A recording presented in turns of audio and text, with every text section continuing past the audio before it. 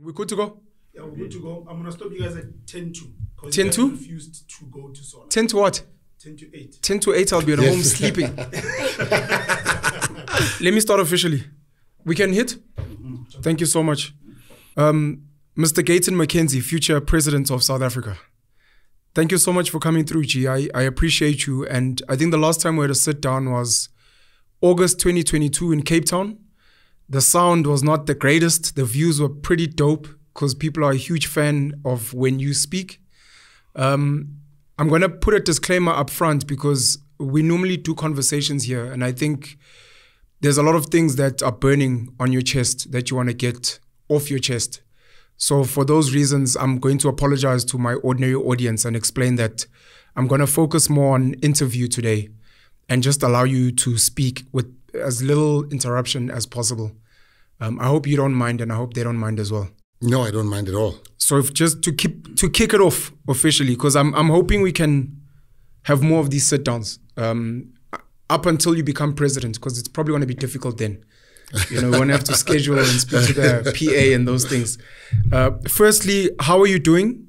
Secondly, the the hot topic is your sit down with Sizwe Mpofu Walsh on Unfiltered, and you refusing to speak to mainstream media. But how are you doing? And then you can get on that. Yeah, no, no, thank you very much. and I appreciate it. I never get this opportunity. Uh, I'm doing very, very well. I'm, you know, I'm adjusting. I'm back home. I'm back Welcome in- back. Yeah, so Welcome I was back in home. the Karoo all the time. The problem with the Karoo is that I remember my first day at the Karoo. I sat there and I saw in a restaurant called Four Sheep, I saw a sign that says, once you enter the Karoo, it goes into your veins, it goes into your DNA, and and it never leaves you. And I thought, like, yeah, right. That's nonsense. That's nonsense. And I can tell you now that's not nonsense. I, I miss the Karoo, I miss the people. Everybody greets everyone. It's Yeah. a different, it's something I've never experienced in my entire life, but I'm doing very well. Thank you. We, we can never bring that into Joburg ever or in the big cities. We can never have that small town home feel. Never. You can't imitate that. You see, it needs, it's the originality mm. of the small town.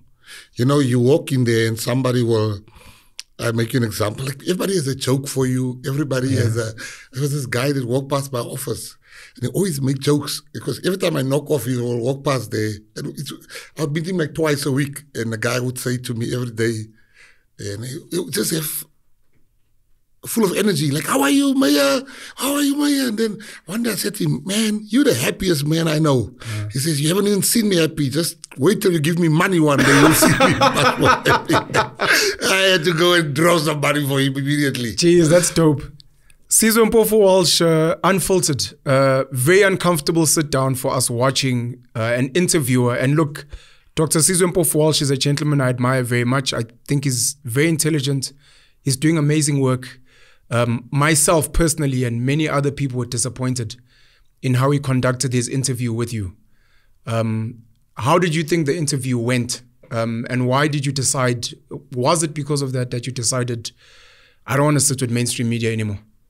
No, no, it wasn't because of that. That was just the final straw for me. Yeah. But you know, it was it has been in the pipeline, and I can tell you it is Daily Maverick and News Twenty Four. Yeah, you've spoken out about it Yes. many times. And I'm going to give the reasons to that, but I want to come back to Dr. Sizwe. You know, the one thing, before I go to the bad of the interview, I want to go to the good, Okay. the self good. You know, when I looked at him, I realized after that interview that I really want black people to succeed, young black men to succeed. Yeah. Because I realized in that interview what he's trying to do. And I could have finished him with one sentence, like two, cent, two, two points, which I didn't raise, mm. that I could have raised there. And I thought, I'm not going to do that. That I felt so proud for not doing it. The one point is I realized he has no idea when I was mayor.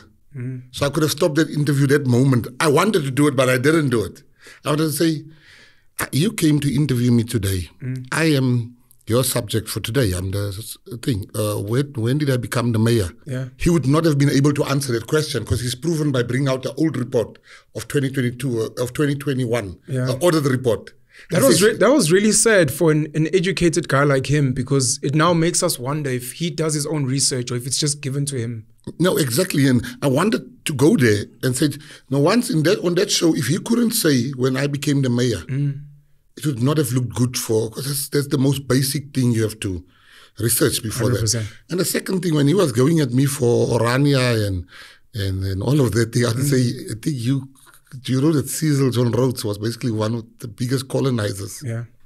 and you uh, proudly went to go. But I didn't want to go there. I didn't want to go to his level. Firstly, I think he was petty, Sure. but I also think he's a good kid.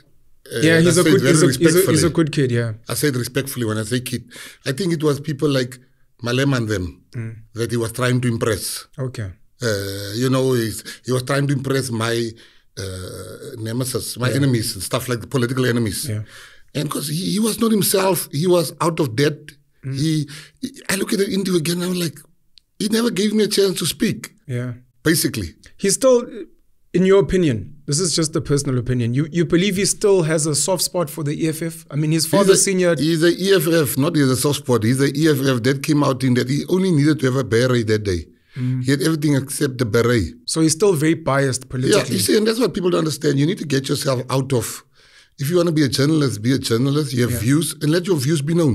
yeah. Uh, and I think that Dr. Sizwe, but I still think you know we all have that, all of that days where you're like, ah, I fucked up. I think that's one of these. I think he will bounce back. Yeah. I will. I think uh, he will bounce back, and and and we shouldn't slaughter him. And I was feeling also sorry with how people slaughtered him afterwards. Yes, especially on Twitter, because Twitter is people- not kind. people crushed him. Yeah. And I felt sorry for him. And I just think that next time when you have a guest on there, Mm. you know, keep your political views to yourself if you want to push an agenda. Sure. He went there trying to make me look like an imbecile. Yeah. And uh, he got opposite result. It's really sad. I'm a, I'm a big fan of your books. I've said this many times before. Um, and in one of your books, you specifically speak about black business. And you talk about how when black business lets you down, you should pull them to the side and criticize them on the side. But when they do well, you must say it out loudly. And one of the mistakes we make is when you get good service from a black business, you normally say it on the side. But when they let you down, then you make a noise out there. And I think you're echo- echoing that with, with Dr. Sizwe Mpofu Walsh. You're saying, look, he's young, he's still going to learn. He had an off day, but I'm not going to bash him about it. And I still kind of believe in him. But we understand he may have political biases. It's sad what people did on Twitter because on Twitter, people go personal Yes. spoke about his mom, who's from the UK, spoke about the fact that his PhD is from Oxford, uh, and yet he wants to come in and speak ill of Orania, etc. So that was the straw that broke the camel's back. The other issues, Daily Maverick, News 24, and just the reason why you said, look, I, I think I'm done with mainstream media. These people don't respect me, they don't want to hear me. Yes, I think you know people don't know in South Africa. You know when they write the article, my one my son uh, uh, once said to me, "Dad, why did you lie to me?" I said, "Boy, what did I lie to you about my son Jesse?" He says, "Dad, you said you only have one name." And he was young and he just learned how to read. I said, Of course, I've got one name, like a dog. I even made a joke. so I got one name like a dog. He says, No, you got another name. I saw all your articles, Excon. Jeez. And he didn't know what the meaning of ex-con was, but he saw ex-con. And, and now I don't mind that. But you know, when I start to mind is that when I have committed crimes when I was, that is 30 years ago, 3 mm-hmm. decades ago. I was a kid, man. Yeah. And they still call me an ex-con, even when I was a mayor, the ex-con mayor. But then you have Oscar Pistorius, that is in jail currently. Yeah. And they call him the Paralympian champion. Now, you know, you, you just ask yourself, you, you don't sometimes want to bring in racism, but you're like, ah, I've got so many white guys that I know were with me in jail. That's even in, in councils. Yeah. That's even in councils Yeah. that I see. And they call them on their names, uh, Mr. This and this, Mm. or but why me? Why must I always be reminded about my past? People don't know that I'm not even arguably. I am the most successful author in South Africa. Ark? And it's not arguably. And if anybody wants to argue that I've made the type of money Mashaba we used to make with his books, and what's that guy's name? Uh, uh, uh, Prince Mashele. Prince Mashele. That's the type of money I made. My books are being turned now into movies. Uh, you know, I remember the late Eusebius came to me and he says, How do you do it? Mm. He came to my office to say, Teach me how to do what you're doing. I came to your office to You say came teach to my me. office. Yeah. Sboo, I was the one that taught Sboo about the ISBN number. He Mm. came and said he wants to bring out his first book. I said, do this. I remember the gentleman that was shot with AKA. Uh, Tibz. Tibz. Yeah. Tibz came and, and, and I helped him. I helped so many people to make the book see the light of day. Mm. You can go to any bookshop in South Africa, you don't get my book. Because once it comes out of print, It's gone. It's gone. Like you can go anywhere now. Yeah. It, it's gone because, but the mainstream South Africa don't know about that about me. Mm. They just know I'm an ex-con. Yeah. That's all, and that's the narrative that's been put. But I understand why. Mm. Daily Maverick and News 24. News 24 is led by a imbecile. like Wow. Adriaan Basson is a petty young man. He's petty. He's the role is too big for him Okay. because he gets personal. He's been writing nonsense about me. He then asked Charles, one of my best friends, to say, Can me and G ever sit down? Mm. And we had a sit down in Cape Town three weeks ago. He says, Man, let's sort this thing out. I said, My brother, let's sort it out. Mm. A week and a half didn't pass, and he went to write lies about me. I then took them on. We went up until the courts, and the court said he should apologize. And now he's busy with the revenge of the apology. They're coming with all sorts of stories, but and the same with Daily Maverick. But the issue with them is the following. I understand where they come from. You see, uh, uh, Pen, here's the issue. There's this lie that you guys, and I include you in those ones, Okay. that you believe when it comes to the Western Cape. Mm. When you go to the Western Cape, it's like coming to Joburg and going to Sandton. Mm. And then you go back and say the, the streets look nice, Of course. the the town looks nice. Mm. But go to Cape Town, go to the other side of the mountain, and you will see degradation, the humiliation. Our people, you look at a place like Hanover Park.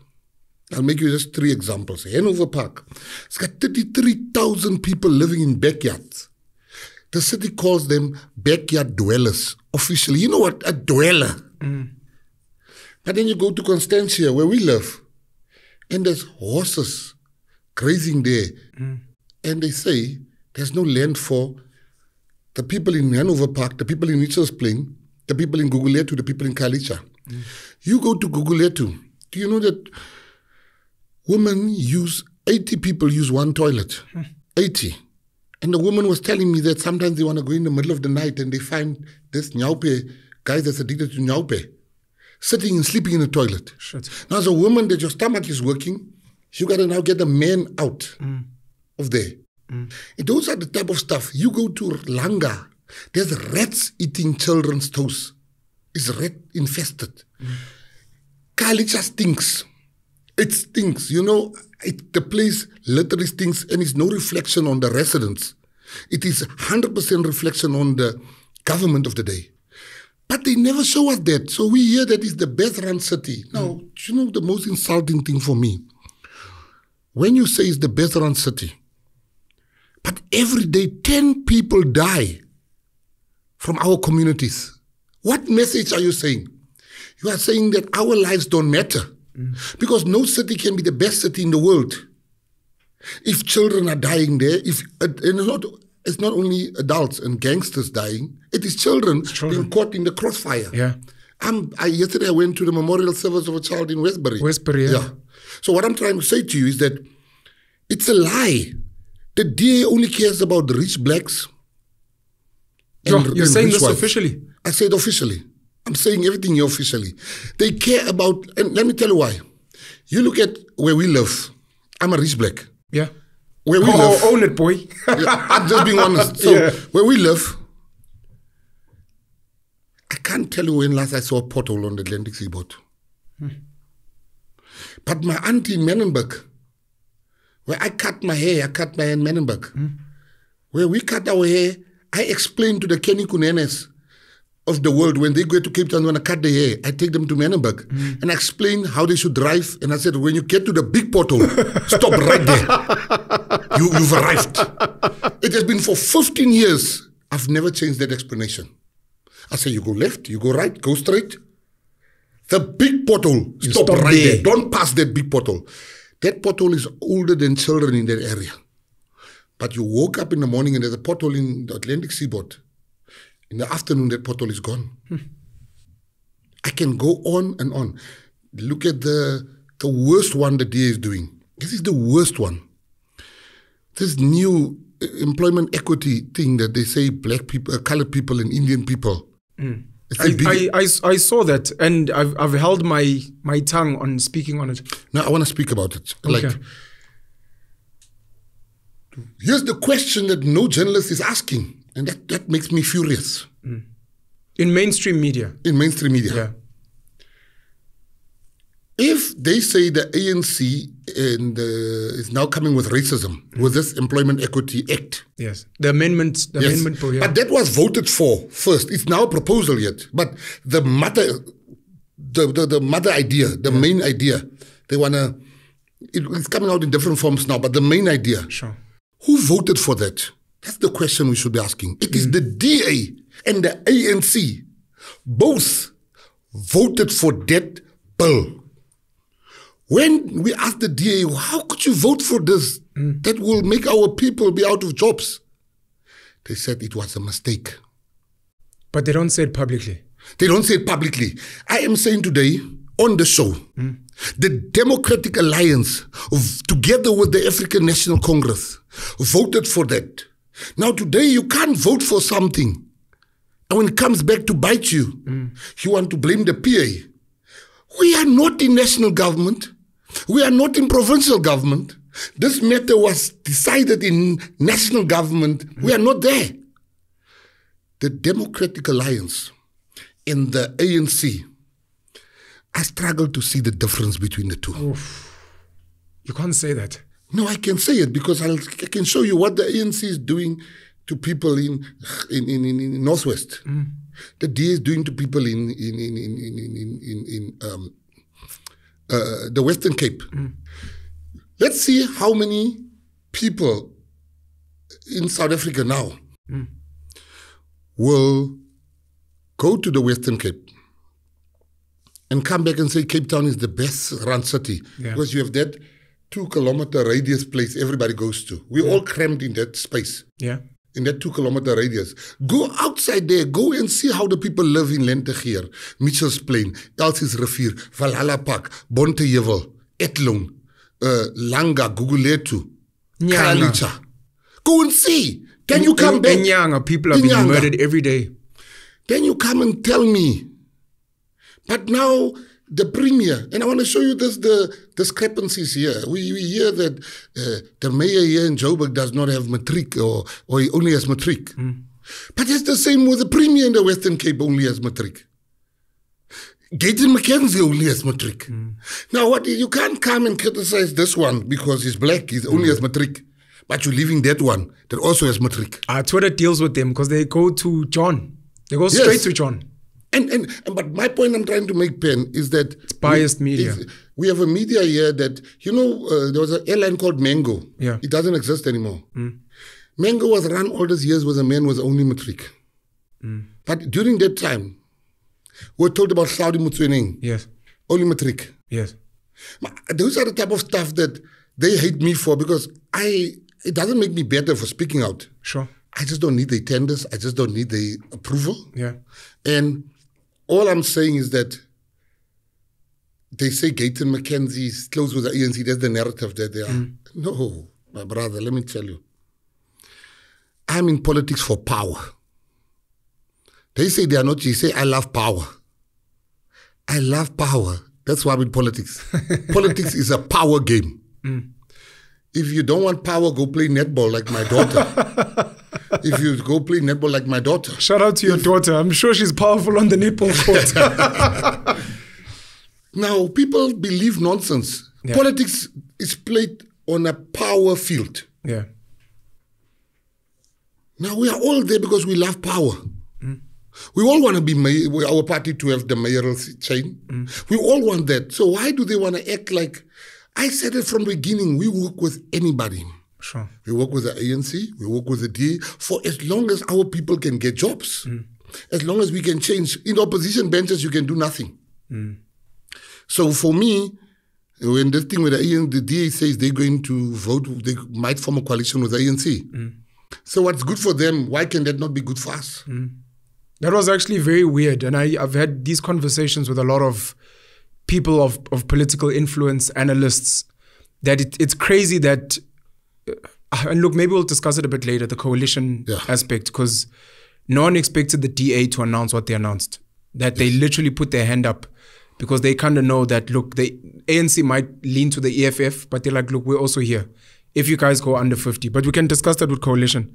Um, I want to take this moment to just send uh, condolences and sympathies again. We've we've done it many times, but we've lost Eusebius McKaiser. Um, you mentioned AKA. You men- mentioned uh, Utibs as well. Um, it it becomes part of the crime conversation, which maybe we can speak about um, later as well. You didn't really get a fair chance to share your thoughts on Orania, and I'd I'd like you freely and comfortably now to please share your thoughts on Orania, starting with the fact that you were met with um, friendly people. Yes, no, thank you very much for that. You know, I think Orania does not allow, like, I know they don't allow black people. That I know. It's not official. Pardon? It's not official. I think what they do is they, they, they lack the courage Yeah. to say it. Well, it's not courage. It's unconstitutional. They they're intelligent about it. Yeah, sure. But what they're doing is they rap that they bypass the constitution by saying you need to speak Afrikaans. Hundred percent. Now, I speak Afrikaans better than most white people. That's my first language. Yeah. And but I cannot live in Orania. Yeah. Then they get another thing they say. You gotta uh, believe in our cultures and in our holidays. Now, there's an Afrikaans holiday that a lot of black people are not aware of. It's called Geloftedag. Yeah. Now, Geloftedag uh, is where they made a promise as Afrikaners. We call it Dingans Day, I think. Uh, some people call it uh, the Day of Blood River, Okay. uh, 16 December. Okay. Geloftedag. Re- reconciliation day. Yes. Okay. All right. Now, all those days, they have certain holidays that we don't. Geloftedag is just one example. I'm making an example. Uh, Gelofte is like where we solemnly promise that we will serve God and, and thank Him for this victory. Covenant with God. Yes, a covenant with God. And now, some of those holidays I don't believe in. So that exclude me. Yeah. So there's no black man that can jump the hurdle mm. into Orania. Mm. So on that front, it's racist. Sure. It's racist. In in substance, not in name, but in substance. It's racist. Yeah. Now the second part is when you look at Orania, it is very impressive what they've done there. Mm. They started this town. Nobody gave them. Oh, the last two points, the first two points I need also to mention is our government sold them that land. Not by a court order, it was a commercial deal mm. between the South African government and Orania. Okay. For The, the ANC led government at the, the. ANC led government. okay. They even went further. They then said, We want our own municipality. You don't need to help us. We want nothing to do with your money. We'll do our own service delivery. We'll do our own service delivery. We want nothing to do with you. The ANC government says, No, no, no, no, no. They went to court. Mm. And these are the things I was trying to explain to Sizwe. They went to court. At the day of the hearing, the ANC said, Let's settle out of court. You can have your own Municipality. municipality. Now, it is very difficult to start something like Orania. Mm. But our government helped them every step of the way. Mm. But we cannot be blind to that today. Yeah. Then the good of Orania. I came there. One guy was even taking us and said, Here comes, I said, he greets us. So I said, Why you, everybody greets everyone? Yeah. They're like, That's just how we are. Where is the facade or whatever? But they greeted us. Sure. I can't come here and say, No, the people were unfriendly while we encountered friendliness that I sorely encounter mm. in South Africa. They call it in, in outside Orania. Let me put it this way. Sure. Then when we went further in Orania, the people in Orania then, which I found, one guy was saying to me, we have no crime here. I even left my laptop in the car. And it's open. I said, let's go. I wanted to see. So we walked. And I filmed that. We walked there. Yeah. And his laptop was there. Then Orania is now busy. And I think the one thing that we must be very worried about. Mm. And I was hoping I can wake our government up, but they're not waking up with that. Yeah. Orania's hard at work with one of the biggest projects, Sure. which is to be off the grid and not have load shedding. Yeah. Now, do you understand the humiliation, the embarrassment for us? If you look at South Africa from the sky mm. and it is dark this side, and Orania's all lit There's a little patch that's lit. Where is that? Where's that? They're like, that's where the white people. That's a problem for me. It, it, it, it, it, it, it, it is an indictment on us. Now, instead of saying, what is Gayton doing, Orania? They are going all over the world saying they're going to learn. Hmm. But our government is not honest. These are holidays for these officials, these ministers. They go shopping when they say we're going to learn in Europe. We're going to learn where they're going on, let me tell you, they're going on a paid state paid holiday. Because why we've never seen them implementing those things Yes. that they have learned. Who have they workshop when they come back and say, ah, well, we're back now, come, let me workshop you. Sure. I'm saying that I, as Gayton McKenzie, has learned so much from Orania. Mm. And if people got angry with Orania, I still have four trips I'm going to make in the next three months. Mm. So they must prepare themselves for a lot of outrage. Trip number one, I'm going to Botswana. Mm. I'm going to learn about the death penalty. Jeez, you're going back to the death penalty. Yes, I'm going to learn. And then from there, I'm going to uh, El Salvador. I want to see how they went from 30 murders a day to no murder for a whole year. I want to go learn. Yeah. I'm going to Israel. I want to go learn to say Israel has never not had a coalition. They've been a coalition government from the start of the mm. from the advent of the state of Israel. And I'm not going there for Palestinian issues and those. I'm going there to learn about Yeah. how do you guys do these coalitions? Because we, we're grappling with it and we don't get it right. Now, that's just the type of person I am. I'm not all knowing. I go to people and I don't take advice uh, and learnings from people that's never done something. Yeah. Because what we are the same boat. We don't know. You understand what I'm saying? Yeah. I so I want to go and learn from them. Yeah. I want to go to Vietnam. I want to go and learn about your electricity problem that you're having. How did Mm. you guys sort out this electricity problem? And for me, that's the type of person I am because I want to go and learn from other people. You might not like those people, Mm. Sure. but they have lessons that I think I sorely need. Mm. And hence, I'm going to those places. So I'm not going to sit here and say, I'm not going to learn from Orania. Mm. And then tomorrow, tomorrow Orania is setting up the lights, switching on the lights. Yeah. And we are in darkness. Because our Eskom thing, which I'll speak to you about also, Mm. is deliberate. Sure. We are deliberately in darkness.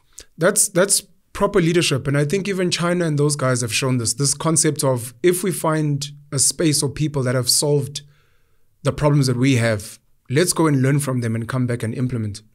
Definitely. You know, having traveled, when you've been in Joburg for a while and been pickpocketed and mugged, you become paranoid.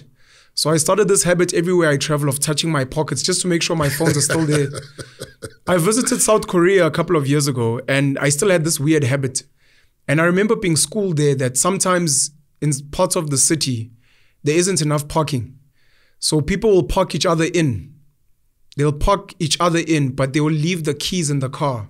Hmm. So that when you get there and you need to get your car out, you first drive the person's car, then you drive yours out, and then you park his car and then you leave.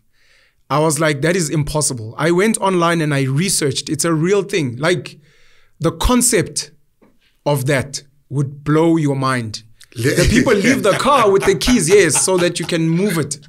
So, so I, I understand what you mean. And the idea of Orania, I, I think currently they're at 12 hours a day. They can supply half of the day off grid and they're looking to go 24 hours Definitely. which I, I think is is quite impressive.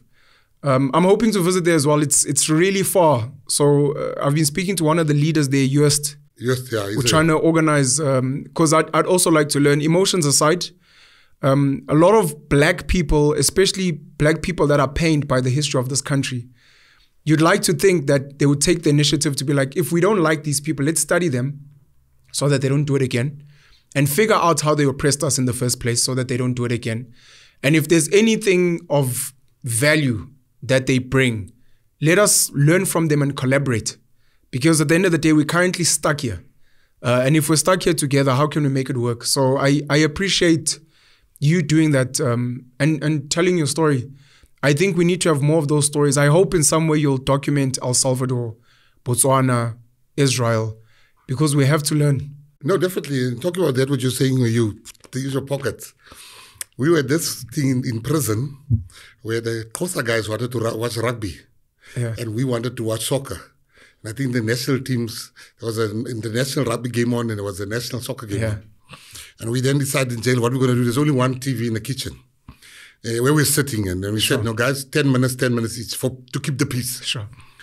And then every time we switch over to the rugby, there will be a goal on the other side. We'll hear from the other cell. And then one day I just said, "You know what? Stop it." I woke up there. I said, "We not nobody's changing this TV." Ark. I said, no one is changing this TV. I'm standing here. We want to watch soccer until the end. You guys can do what you want to do. And then the quarter guys were saying, one one of the leaders saying, ah, leave him. Let him watch. It was Arsenal actually. Yeah. Let him watch his Arsenal. He will never see them live. That hurt me so badly. I don't want to show that moment. so my first 8,000 I had when I came out of jail, I went to go buy a ticket to watch the Oh Arsenal game. And I went with Charles, went to go watch the game. But when I got there, I had no money left. One thing that you just said that I'll never forget, I woke up and I wanted to see the newspaper. I wanted to read the newspaper, and there was nobody there, and there was a stack of newspapers. Yeah. And next to the stack of newspapers was money. You just throw money and you take your change. No ways. Yes. And I was like, where's the newspaper guy? and I paid and I took my change. And I saw other notes there. I'm like, well, now I know which country to come to when I'm totally broke. I've hit down, where I have nothing. I'm coming here to mess up the system. But it is, it is, it is that what you are saying Hmm. that we must learn and, and how we are affecting. And people underestimate. One thing I see when I go on Twitter, Yeah. it's the funniest thing, not the funniest, the strangest thing for me is we underestimate what apartheid did to us black people. We, and I'm, when I say black, I include Indian and colored. Okay. What apartheid did to us, it's something that we will never fathom. Hmm. Apartheid was one of the greatest evil inventions in the history of mankind. The fathers of apartheid were so brilliant, and Caesar might disagree with me, that their system lived on until today, long after their death.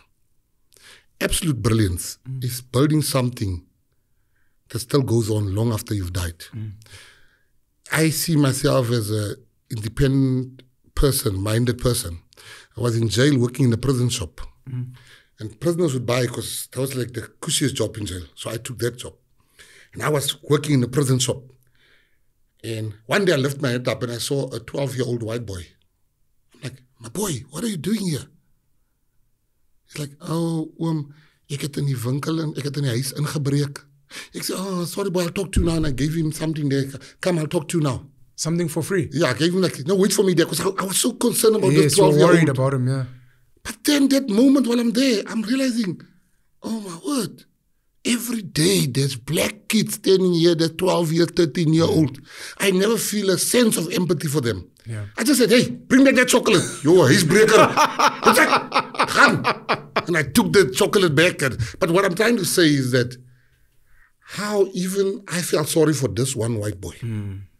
While there were multitudes of same age kids sometimes being brought into jail. Yeah. That is the power of apartheid. It Black, was black inferiority and white it is superiority. implanted in us. Yeah. Bantu education served its purpose. You see it, you see it up until today. You know, it was so powerful that you know that a white warden, a black warden in jail, had to address a black, a white prisoner as meneer. Uh, they didn't eat what we ate in jail. They ate a different meal in Really? jail. They would have Kellogg's, bruh. Like, they- like they would have Kellogg's, they would not have what we have. The warden, the black warden, had to address the white prisoners as meneer. That's how powerful apartheid was. So all I'm saying is that we we are light years ahead of ridding ourselves totally of what wrong has been committed to us. Mm. We must be commended for forgiving. Mm. You know, I always look when white people start bring up my past, and I'm thinking like, How like, dare you? How dare you? How dare you? How dare you bring up my past? Because I would have been, you know, in nobody talks. Everybody talks about the struggle credentials, but they never talk about the black alpha males. Hmm. A lot of criminals in the black community were alpha males. They were not beta males. Nobody speaks about that because the alpha male will never say yabas, boss, who's a boss. It, it's impossible. Now all that that dreams that that that you look at, I know of guys that could, bruh, they could steal any car, they could spin, they could drive like Ham- Lewis Hamilton, and those guys because they were alpha males, hmm. they couldn't see their way in to go near boss, and being controlled by the most stupid white. And those are conversations that we never have. Gayton, I'm trying to bite my tongue, man. I've got I've got so many questions Sure. to ask you, but you're you're triggering a thought in my head now because you mentioned this earlier, and I I also tried to avoid it. I'm not asking you a question because I know it's going to end up being a long chat. There's an argument that there's currently a feminization project of men, and that the idea of especially black men, strong black men, must be destroyed by all means whether you're pumping them with Ritalin and you claim they have ADHD, or whether you're putting them in juvenile delinquency, or whether you're pumping them with some other medicine, or whether you're just telling them that masculinity is wrong. And to what you're saying about the fact that we, we're not allowed to celebrate alpha black men, especially within a white system, raises a conversation I normally raise with, with wealthy white people when they speak about black corruption. And I say to them, let's use someone that we both know, uh, ex President Jacob Zuma. And I say, let us assume, this has not been proven, but let us assume that Jacob Zuma was, sorry, was corrupt. And that himself, the Guptas, and many other people were hell bent on stealing as much money as possible from the state. Let's assume that. Let's all agree.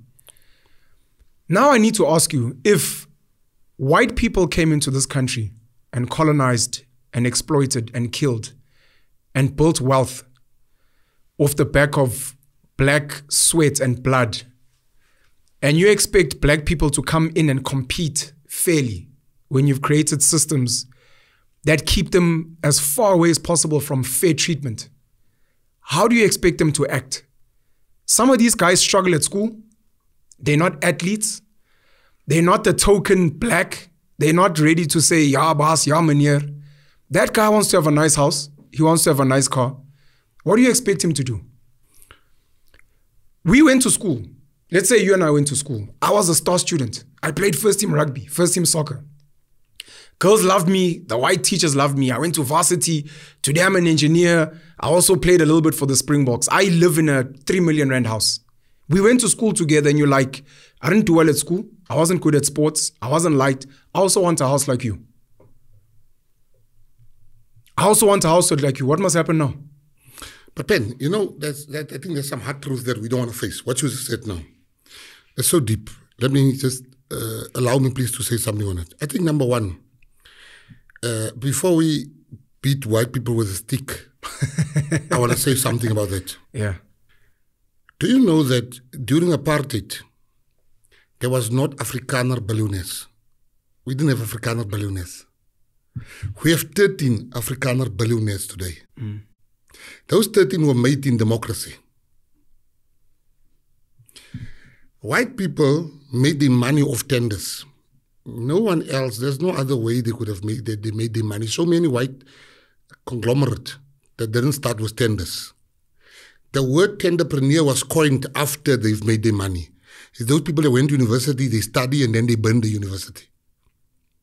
But here's the issue where I once had a problem. We were sitting in a dinner, and I nearly left the dinner because Mmusi Maimane said something. I was so offended. But I took him on with it. He said, No, we must first get economic power. And I just, and I remember the dinner was with uh, a few leaders of political parties. I said to him, No, you don't understand power. That's why you, you make such a nonsensical statement. We don't need economic power. Once you have state power,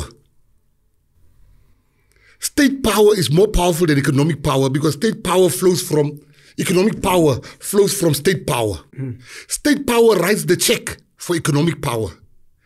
Now people say we need economic power. No, we don't need economic power. We need a real state. Let's take countries like Russia. Let's take Russia. I was actually going to ask. That sounds like the Russian model because even before Putin, there was um, I don't know if it was Boris or someone. He had his own oligarchs. Putin came in with his own boys, Roman and the gents, and it's almost like you take Eskom, you take Transnet. You guys will be billionaires, but just make sure that the country works. Yeah, not necessarily. It shows who's the boss. You look at China. Let's mm. Russia's controversial now. Let's go to China. Yeah. China has got more billionaires than any country at the moment. Yeah. And the state is in charge. Mm. And what is his name? Jack Ma was trying to be in charge. Yes, And state power crushed economic power. it's a fact. Now, in this country, Pen, I look at young people like yourself, mm. and I use you because I understand you I understand issues. And my heart breaks for you, all of you. Mm. My heart breaks for them when I look at them at Twitter and saying that you live in the wealthiest country in the world with minerals. No country is as well endowed with minerals like South Africa. No country. Not a single country in the world. Maybe the DRC, but we'll allow South Africa today. My brother. Not even. Not even the DRC. Not even. They can say what they like. These are things they put in your mind. Okay. That you are not the most powerful. Okay. Let me just, on that issue. Do you know, oh, during apartheid, we were the top gold producing country. Hmm.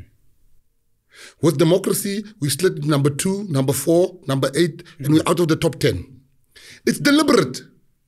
Why it's deliberate? Because now the gold price in the world is up. But if South Africa works, the gold price will come down. So they got to keep us out of the game. Hmm. Coming back to my point, I don't blame white billionaires that, that running havoc here. Because they control. They hmm. control the courts. They control what's happening to us. They, con- They control, the media that you don't bread. like. They control the media that you don't They like. They control the price of bread. And black people were dying because they ate bologna. Who has ever been found guilty? Or where's there ever been a commission for who's responsible for that death of 25 black people that ate bologna? Listeriosis. Yes. I'm saying to you, my point I'm trying to make is that it's nice to want to blame the white people. Mm. But the white people are taking advantage of our incapability to rule. To rule. To rule. If you are the government, you set the rules. You shouldn't have to steal what you're in control of. Yes. Now, when you are in charge, you are in charge. And you know, people say, yeah, I'm saying you are the government. You set the rules. You say the which in which field the match is going to be played at. Mm. You set everything as a government. You go to countries. I look at my friend that I'm actually meeting tomorrow for lunch. He was he had shares in, in the, the energy company in, in Paris, mm. in France. Government just nationalized them now. Yeah, I saw that. They just nationalized them now. That's that's what the state does. Mm. They're like, here's your money, we're taking. Mm. But we are not ready for that conversation yet. They say you're a dictator when you start talking like that. Of course. Yes, I'm a benevolent dictator. I'm not going to lie about that. Getting back on track. I apologize for that deviation. uh, how would you have? How would you rate yourself as a mayor? You know, I have grossly underestimated what it requires to be a mayor. Okay. Which is a good and a bad thing because that naivety means you you might push beyond. I would not have achieved all the things I achieved if I didn't have money and friends with money. Okay. the system is rigged in such a way that some of these municipalities can never come out of debt.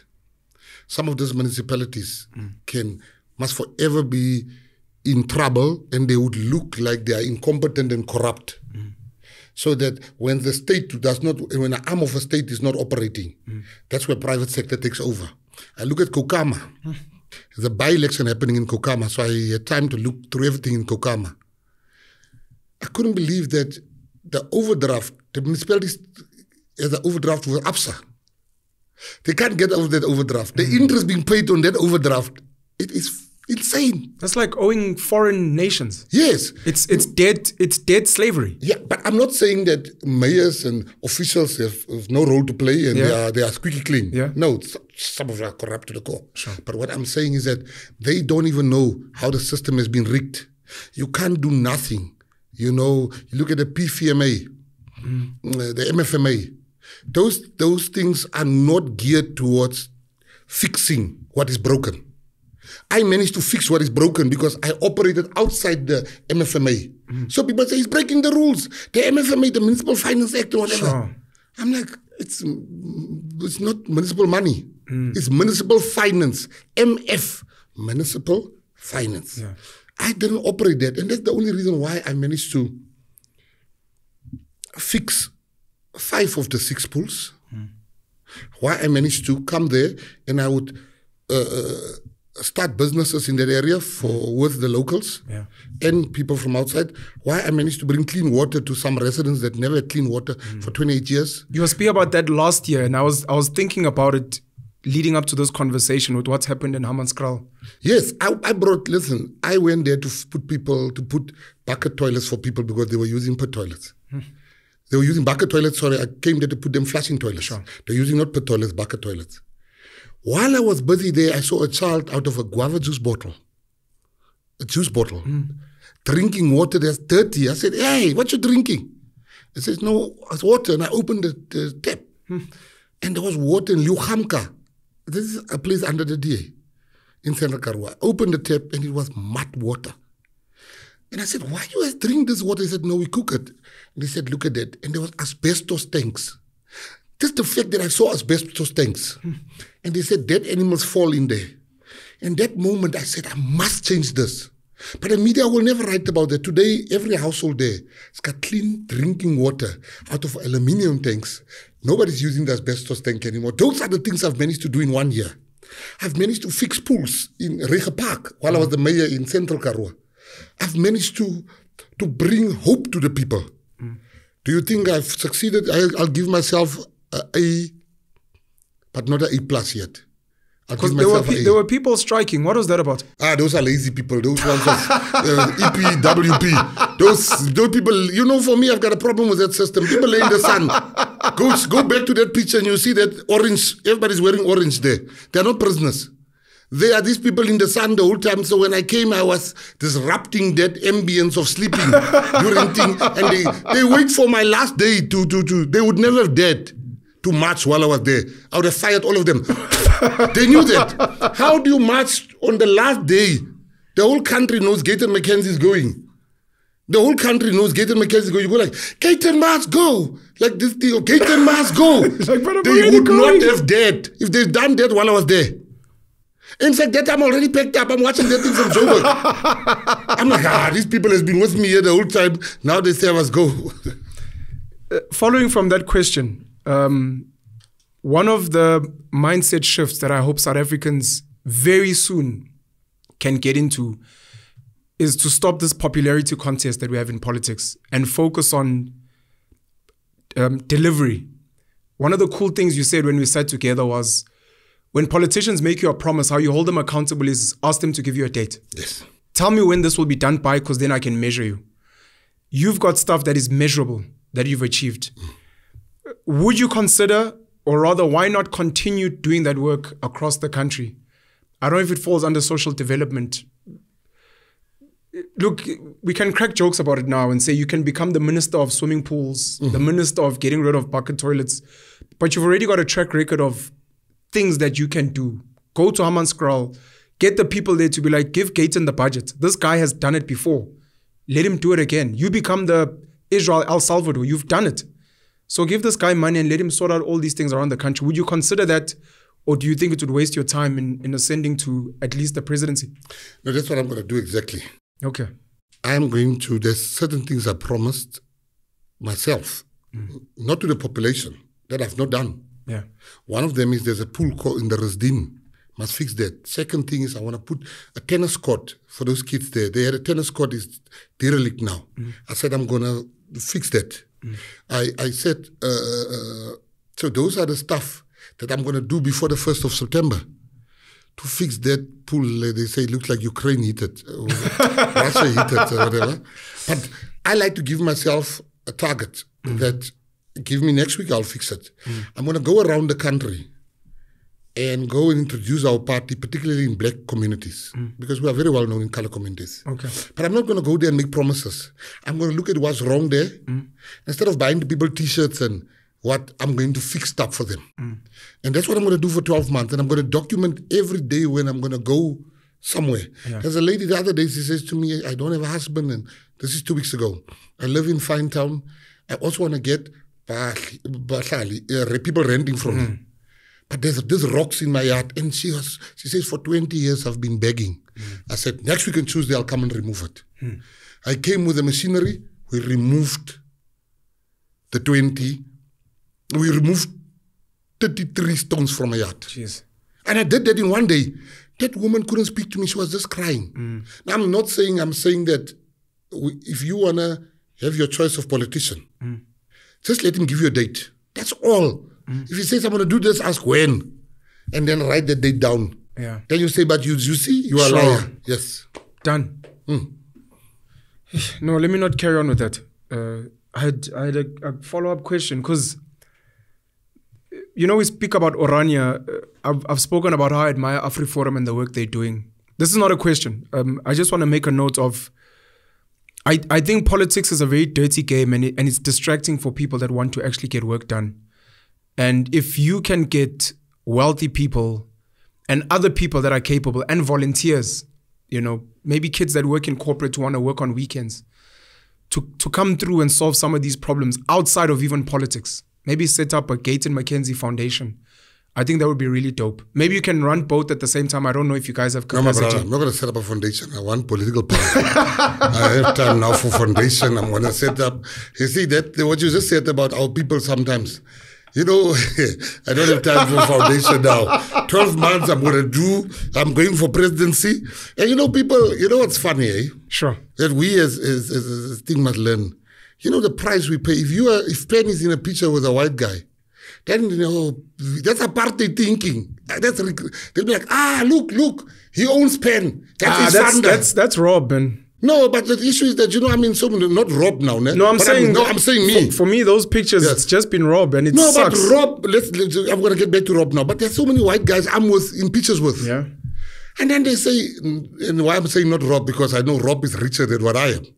But there's people, white guys, I'm richer than them. then they say, look, look, look, he's funding McKenzie. I'm like, ah, this man, I can swipe him with a savings card now. I see on Twitter, I am this man, I'm the one that he's funding. But there are people like Rob.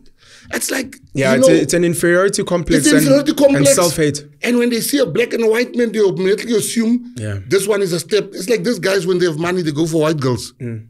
They're basically saying that the next step up is a white girl. Sure. It's that thinking, and you can't take that thinking out Sure. The next day. And you look at, I mean, like they say, ah, Rob, even with myself, Mm. uh, Rob is controlling Gayton. There's two things Rob believes in. Rob is my friend. Sure. I mean, like They, they can't friend. they can't believe that you can be friends with a white person who's well off, who comes from a family that's a legacy family. It's impossible. Bruh, I tell you, Rob and myself are friends. I know his children. His children knows my children. I know his his father. I have lunch with his parents. We are friends. Rob believes in an independent Cape Town. Sure. He believes in that. Yes, he does. Rob believes that the DA uh, and PA must work together. But it's not happening at the moment, so that must tell you I've got my own mind. Sure. And when you look at a person like Rob, I can ask Rob now, Rob, can you please go to this place and put toilets for the people there? Mm. Rob will sign that check for that community. Sure. Rob will do stuff. So I'm saying that, you know, we must get out of this thing of white, black, whatever, and look at more South Africa. Mm. What is good for our country? And let's start doing what's good for our country. I used to have that thing where people say they're going to emigrate. I like, let them go. let them go. But then time and sense taught me mm. there's things called the brain drain. You lose the best of the best. Mm. I mean, which country would not want to have an Elon Musk? Now today, black people want to claim Elon. True. But when Elon said he's leaving, they said, let him go. Yeah. Now they're like, ah, Elon is from Pretoria. Mm. Yeah, Joe, you know that man used to tip me when he's parking his car. I'm like, ah, I'm talking nonsense, but yeah. I want to speak about Eskom, but since you're speaking about brain drain, you know, I, I try to paint a, a relatable picture, especially to black people, to, to get an understanding of the things they complain about. One of the saddest stories of brain drain is an internal story in the country where, under the Bantustans, uh, and because of the way colonization happened in this country, Eastern Cape intelligentsia and academia was leading at some point. Fort Hare, some of the schools there, I mean, some of the top lawyers, accountants, professionals in this country are from the Eastern Cape. But as soon as South Africa got integrated, a lot of those people moved to Cape Town, some to Durban, some to Johannesburg. Really top people, and they've never gone back home. The Eastern Cape is one of the poorest provinces in this country. It's had presidents, it's got billionaires, it's got really wealthy black Xhosa people. But they've never been able to go back and, and plant back home. And that's the, the danger with not creating a fertile space because the Eastern Cape is also very highly corrupt. And the guys that are there chowing tenders, they're not friendly with people that are qualified, want to do things, and it becomes an issue. And it's almost a similar fight, but people don't understand it when you're saying the white person's going. They say go. It's like chasing away the smartest guy from your neighborhood. And then you wonder why your neighborhood is falling apart. Yes. No, he speaks too much English. This one, he thinks he's too clever. Now you're living in potholes. Now you're living in crime because the dumbest, most rebellious, most destructive child is the one that's now leading your ward That's true. or your neighborhood. The kid that you thought was acting like a cheese, he's there living a good life where there's no potholes. And it's sad now because you also won't let him in because you want to say maybe he's captured, or whatever the case may be. Sorry, Eskom. Last year, mid December, you wrote three posts on Facebook. Uh, I captured those posts and I made a video about it on YouTube. I don't know why it took me this long, man, but I made a video a couple of weeks ago reading these posts that you made. When Andre de Ruyter sat with Annika Larsen, I think she's at ENCA or ETV, and then after that, she released his book, I think Truth to Power. Um, he was coming up with these there's all these mafias at Eskom and the truck mafia. And I'm like, no, I've heard this before, man. And and I was like, Gayton spoke about this. This goes back now to the media story. Uh, I'd, I'd like to hear your thoughts outside, I guess, of what you've documented, but even if you include it, your thoughts on, on Andre de Ruyter, your thoughts on Eskom, and maybe you can also add maybe my frustration with the fact that all the things Andre de Ruyter you raised, and you even put your hand up and you were like, I'm I'm here. I'm willing to run Eskom and sort things out. How did you feel when the media to this day was treating him as a hero, quoting almost verbatim the things that you were raising last year, even? All right. I think, and I'm going to make it an example with what we understand. When we go back to f- for funerals, when there's a funeral in where we're coming from, us that's not from Joburg, mm. that program will be changed when you get there. The guy that's paying for everything. Mm. You can have a program, that's what he's speaking, and you see even they change, no, no, you know, entate ha o sa bua man. Eh, ke motho o tlo buang. Ha o ketle man. Eh, eh. So those things happen because the guy from the town is coming back to the village. That's the type of thinking we have in South Africa. The black guy, us, we are the guy waiting that's been living with this person, and but when the program of the funeral, the people of English from the big city are the ones. So they only listen to that man. And that's the issue with Andre de Ruyter is an average white male. Average. I need to jump in there. You know, you spoke about the billionaires we've got now, the white ones who have been built mm. under this democracy. Mm. We don't talk about Tito Mboweni recommended Andre de Ruyter. Uh, umama utoko Didiza, uh, Ubabu Gwede Mantashe, Ibrahim Patel. Um, there's one more, uh, Pravin Gordhan. These are the four ministers that actually endorsed Andre de Ruyter to Yes, they become. CEO. But he served them right. He did them. He, I was so happy what he's doing to them. Because he's an average white male. They're smart white people. Smart white people, I know. Andre the doesn't even come close to that. He's average, teetering more on the dumb side. How this guy? This guy has nothing that you can show demonstrable that he's done in corporate South Africa. For him to have to put all of us people in South Africa at his mercy. Tito Mboweni, that man is another fool. You know, you've been put in charge of people to make sure that people live a prosperous life. And what do you do every day? You cook nice meals and waste meals and do nonsense. The people are looking at you. You know, Don't people, forget the tin fish. Yes, but people don't understand that politics. There's uh, you have to look at how does how would that come across? Yeah. It's like the Percep- minister perception, perception management. No. Yeah, the minister with the with the white jersey. Yes. Michael Kors. Yes, That I've got Gucci's. Electricity. I've got Gucci's. I've got Louis Vuittons. But look what I'm coming with here. yeah. Because I can't come here with my Gucci's and trying to show off to the to the people. You gotta think who you are a leader. You cook every day. You are busy cooking and throwing some of the food away that this was a flop in a country where you were responsible Yeah. partly for the It's men insulting to the people. It is insulting. It tells me the type of leader. So I'm not shocked that he brought Andy de Ruyter. So to move away from Andre de Ruyter, I just want to tell you that he's, he's the average white male that they put in charge of the most I'm not laughing. asset, the most important asset in the country. Yeah. So I'm glad he's dealing with them. Mm. A smart white male would not have dealt with him. He would have had other ways to deal with him. Sure. Then they sent Andre de Ruyter there. They must have taken Prince Mashele there. Because Andre the just went there to go write a book.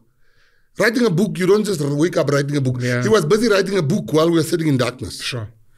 Then, you know, uh, here's the issue that people don't want to hear, and I never get a chance to say this. It's so easy to stop load shedding. Mm. You stop load shedding with coal. We are sitting on 420 years of proven reserves, mm. which means we might sit on a billion years of proven of, of, of reserves, mm. But not yet proven. Sure. But 420 years proven. is proven. Now, if you can't stop load shedding with coal, there's something wrong with you. But then you move down to Central Karoo, where your whole answer is for load shedding. There's two things there that can stop load shedding in the next six months. People say it's going to take 10 years nonsense. Six months. Six months. What you have in Central Karoo, you have two two ways. You have what you Central Karoo hit the lotto of renewables. And I want to go to renewables before I come back to coal. Mm. Because this thing needs a triple energy mix, multi energy mix. Let me put it that way. You can't just say, you must, we are in such a crisis that anything that works must be added on. Mm. Now you look at Central Karoo. There's two things in Central Karoo that I don't think people understand how easy it is to sort this thing out. Mm. They hit the jackpot. We call it the renewable jackpot. Number one, they've got sun during the day. Mm. One. Two, they've got wind at night. Three, they've got transmission, evacuation. So they can transmit energy out of Central Karoo. They can transmit energy out of, and they got vast tracts of land, number four. If you put up the next six months, a lot of uh, solar there, you'll have wind, you'll have, you've got sun, you've got transmission, and you've got uh, vast tracts of land. Let's move away. Central Karoo is sitting, it was proven yesterday actually. It was proven. Yesterday was uh, what was the date? Yes, Monday the thirteenth. I think it was proven this week Okay. that Central Karoo is sitting on the eighth largest gas deposit in the world. Eighth largest gas, deposit. in the world. Proven. I'm not talking here about. We are sitting on more than 200 TCFs, trillion, trillion cubic feet of gas. Sasol is built on two. Mossgas on four. We are sitting with 200. You can't tell people that because they're gonna start bombing our country and No, it is- overthrowing our government. Let me tell you, it is it is proven. Let me tell you how America's gonna come here and give us 8.5 um, billion. we know what's gonna happen. The, the, the first geologist said it was the guy of Shell, which I know he liked because they wanted to fool us. Yeah. He said we are only sitting on 13 trillion cubic feet. And then the geoscience in South Africa said we are sitting on 336 trillion cubic feet. And the Americans came, I've got the report because I was the mayor. The American says, no, you're sitting on 250 million, uh, 250 trillion cubic feet. The Americans said it. Now, what I'm saying to you is, now we have been told we must not do coal. When I was in, in, in Europe hmm. three months ago, they are destroying, they are lighting the coal fired plants up again. Hmm. We are being told not to thing out. Sure. Do you know that in Richards Bay Terminal, the export of coal is now higher, 720% higher than it was two years ago? But we are being told we, are, we don't have leaders. They, are, they have no commercial sense, or they are bored, or they are scared of these people. A guy like me, I will say, Solar, start now. Uh, and don't tell me there's no money. There's money for everything except for the things that can better the lives of the majority of people of this country. I will say to them, today, let us do the uh, gas instead of going to get gas in Mozambique. What they don't know is Al Qaeda can just blow up everything there in Mozambique. Then we are in darkness here. Because there's terrorist There's organizations. in terrorist organizations there. Yeah. But what I'm saying is coal. I will say extract the coal. Once 2024 comes, we'll extract coal. We will extract the coal and we will burn the coal and we will not get wet coals here. We'll get A grade instead of sending A grade to Europe. We're keeping Europeans warm Yeah. and our people in the dark. So I want to say to every listener of yours, this thing is They want to sell Eskom. There's ways to fix this thing. There's enough smart people in white community, black community, Indian community, and colored community to sort out load shedding in a matter of months. Why is it that they would say, for instance, uh, the, the big companies are not really complaining, the majors. The majors are not truly complaining. Go not. to Sandton. The lights are on during the night, but our people must sit in darkness. We have leaders that are scared of the international world. And their decisions are informed by what those people want them to do. Mm. Why would you say we must not do coal? And you give us 8.5 billion, but you don't think about the many thousands that will lose their jobs in the coal industry. Sure. 8.5 billion US dollars is nothing. The coal industry makes that money a month for the ones that don't know. Hmm. I don't know if you're comfortable to entertain conspiracy theories. Yes, I I've I've got a few of my own. Um, one of the theories I, I'd, I'd like to raise is that we might have a a gas and maybe even an oil belt that comes down from Angola, down Namibia to places like the Karoo, maybe the Eastern Cape going up to Mozambique, and it might explain why so many people are setting up solar farms. I think the solar is going to be a front for gas in the future. And it makes me wonder why the Sheikh of the United Arab Emirates randomly came to buy land in the Eastern Cape. I've got a funny feeling that there's probably something that they've discovered there as well. I'd like to hear if you think maybe we might have a belt that goes beyond just the Karoo. And I'd like, I don't know how dangerous these conversations are to what you're saying about our leaders being scared.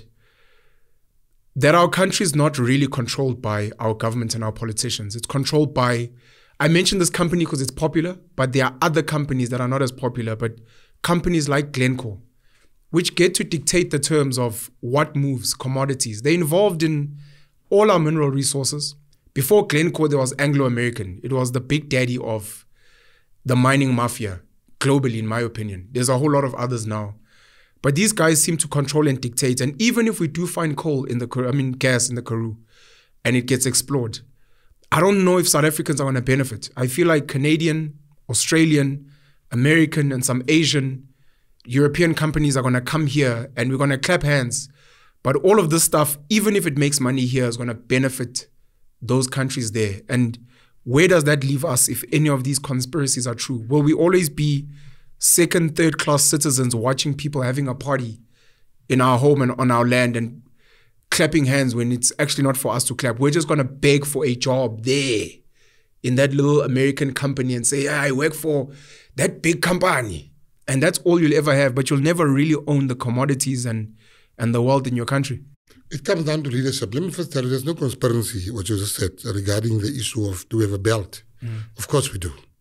That's how minerals work. Minerals is not sporadic. It follows a reef mm. in gold. It follows a belt. It follows the oil line. So it is there. Secondly, regarding the issue of, of, of, of the Sheikh of thing, mm. I wouldn't agree with you because I think that he's got so much money that he could have, he doesn't need to lie about what he wants in this country. But he, he wouldn't be lying to us. Yeah. He'd be lying to the other potential. That I do not know. I'm just saying that he's got enough money to, to buy anything he wants to buy in South Africa. Sure. All right. Thirdly, when it comes to the issue of us not benefiting, we've didn't benefit from nothing. You know, in Norway, hmm. they have the Norwegian Sovereign Wealth Fund, Yes. where every citizen benefit. In Alaska, they have the oil, where every citizen benefit. I've seen that, yeah. They get paid every year, the Yes. citizens, just to The be a citizen, yeah. In South Africa, we, we are not like Norway. We are not as unfortunate as Norway to only have oil. we are not as unfortunate as Alaska to have oil. We've got oil, we've got gas, we've got gold, we've got chrome, we've got iron ore, we've got manganese, we've got diamonds, we've got silver, we've got copper, we've got Platinum. platinum. There's nothing that we do not have. Do you know people think you are dreaming when you say we've got natural stone, we've got timber, we've got the ocean economy. They think you are dreaming when you say You just in South Africa you can just chill and you can get money every month. But how is it that we have all those minerals, but we have the world's highest unemployment figure? It doesn't make sense. It's like dying of hunger in a supermarket. But nobody is ready for the conversation. They are ready to cancel people on Twitter. They are ready to see who's wearing this, who's not doing that, how many kids does Pen have. How, they are ready for things like that. It's like you are asking for support money from them every month. you see, people are ready for, they don't know people's reason. I come from a house where it was only me and my sister, and it was a five year difference. And I said, I want a big family. Mm-hmm. And as long as my family is not taking welfare money, Sure. it's my decision. I'm saying to you, and this is the conversation, you look like a madman. So when you say to black South Africans, colored South Africans, whatever South Africans, and say, guys, you live in a rich country. Let us, you just need to change the game where government is in charge and not this multinationals are in charge. You look at gold, you look at platinum, the Northwest has got number one platinum deposits in the world. Hmm. There's nothing there, bro. There's absolutely nothing. But people are not ready for these conversations. Hmm. People are not ready of how minerals can change people's lives. I bought a mine in the Northwest. People were living in mud houses when I got there.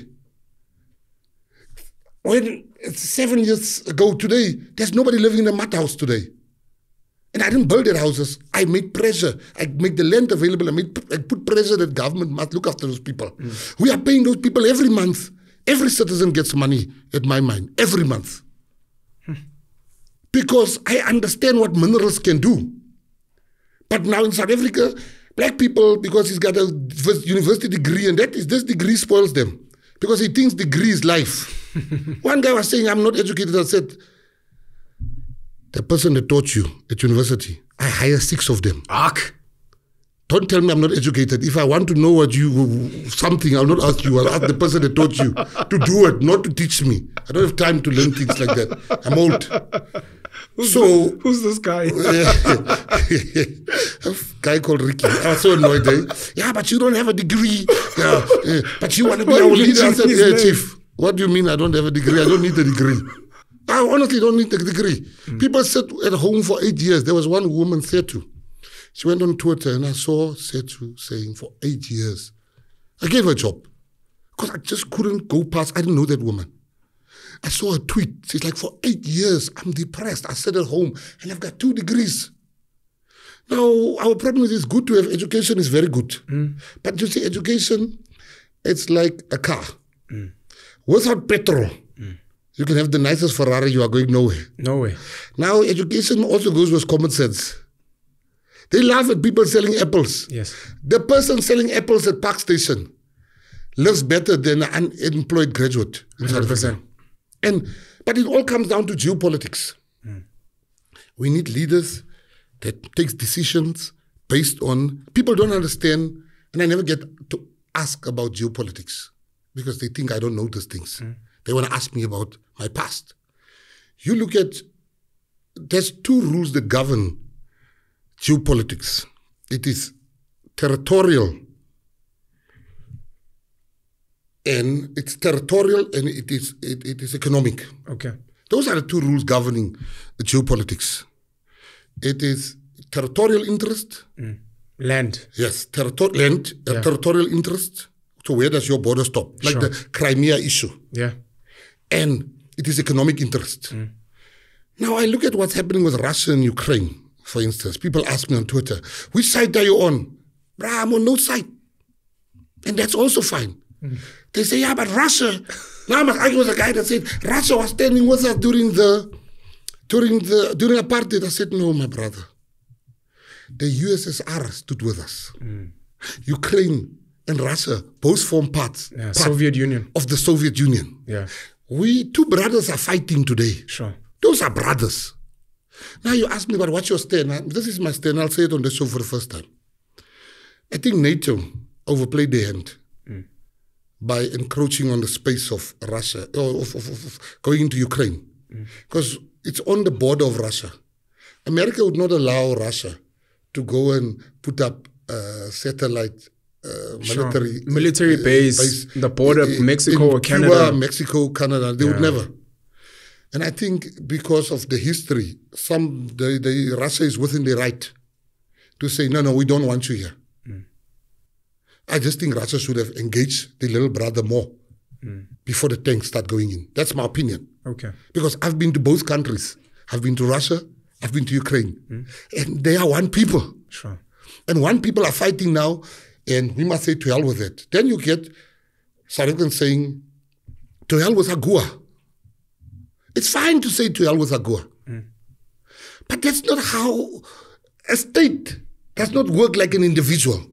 Sorry, just to, to cut in there. So, so AGOA, for people that don't know, it's the African Growth and Opportunity Act, which is a United States Trade Act, which was enacted in, in May 2000. Uh, it provides eligible sub Saharan African countries with duty free access to the US market for over 1,800 products, in addition to the more than 5,000 products that are eligible for duty free access under the Generalized System of Preferences program. AGOA gives duty free access to 25% of South African exports to the US, South Africa's second biggest single country trading partner after China. In essence, AGOA is basically our trade, one of our trade agreements and benefits with America to say, look, some of your stuff when it comes to America will not be taxed. Uh, I think a lot of people don't understand that. My apologies. Please, please may you continue. But that is jobs what you just described there.